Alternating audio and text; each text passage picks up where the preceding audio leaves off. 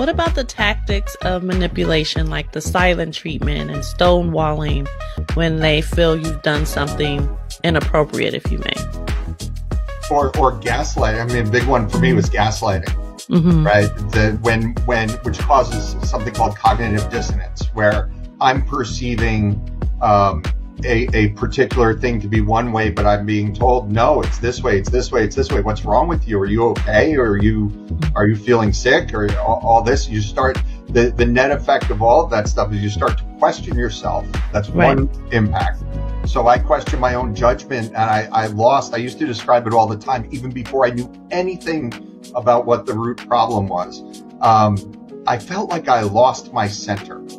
I lost my own value system. I lost my own capabilities for making intelligent decisions. It was all everything being slowly over a long period of time. Um, my life went into orbit around hers. Right. All right. Um, and, and